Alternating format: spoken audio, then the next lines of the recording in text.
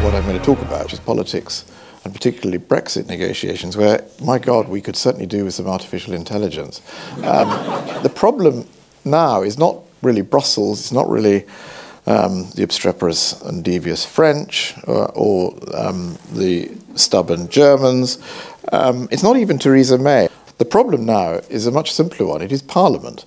Um, I don't believe that there is a parliamentary majority for any form of Brexit, and I think that is driving these negotiations. Um, it's most obvious immediately in the performance of the Democratic Unionist Party. Um, uh, let me not say too much about them, but they are very difficult, as you know. But it, within the Tory party, the party is completely divided about what kind of Brexit they want, not just between Leavers and Remainers, but within um, Leavers and indeed within Remainers. Um, and one of the oddities about this negotiation, which I've been observing since June 2016, is that far from narrowing options down as it's gone on, it seems to have widened them out. Everything is still on the table, including reversing Brexit, including leaving with, with no deal.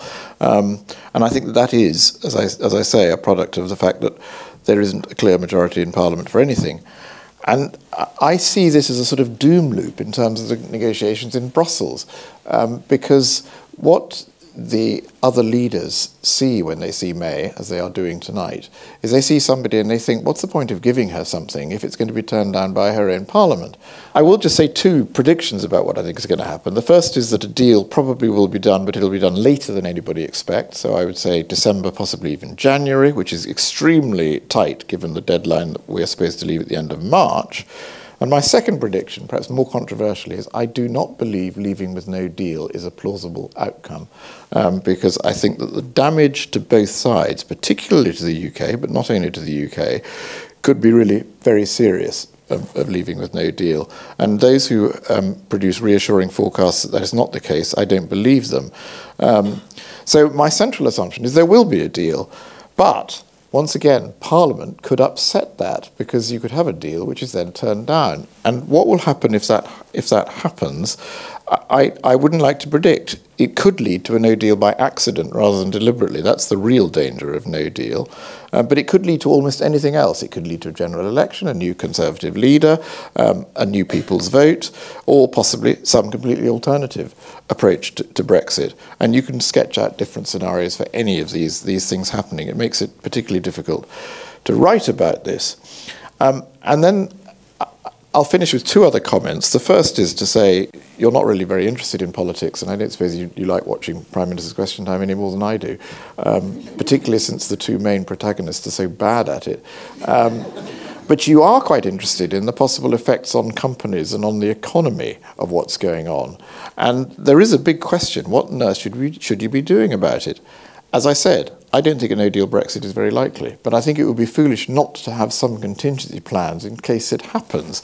Um, and so I would say to anybody, however big or small you are, think about the possibility that there will be no deal, that there will be queues on the M20, that there may even be a situation where, at least for a time, airliners are unable to, to fly between this country and the European Union, and there could be problems in Ireland. Uh, I don't think they will happen, but I think you should, you should at least think about it and, pl and plan for it. And the second thing I'll say is um, even if there is a deal, which is still my central assumption, and it will look a little bit like um, the much publicised Chequers deal, at least for a time, it will not be over on March the 29th, 2019. Brexit is a process and not an event. Um, and the idea that there would be an implementation period was always a joke. It's not an implementation period, it's further negotiation. And it's further negotiation that could take several years, not just 21 months, but several years. Um, so those of us who have the happy duty of writing about this have realized as this process has gone on that we've probably got a job for at least a decade. Um, and you may detect from what I've said that I'm not a great enthusiast for Brexit, although I'd like it to work in some way. Um, I'd quite like it to be reversed, but at the moment I don't see any way of that, that happening. But what I actually have come to regret most about it is that it has become the dominant issue in British politics and it's displaced everything else. Um, and there is a massive opportunity cost attached to Brexit. I happen to think Brexit itself is not going to solve many of the problems of this country. I even think it might be negative. But even if you don't think that, I think the idea that Brexit will solve the housing problem, the employment problem, the skills problem, the productivity problem, no, it won't do any of those things. And I think perhaps its worst feature is it, it diverts attention from doing anything about any of those things. Uh, and I think that is deeply worrying, whichever side of the argument you are on.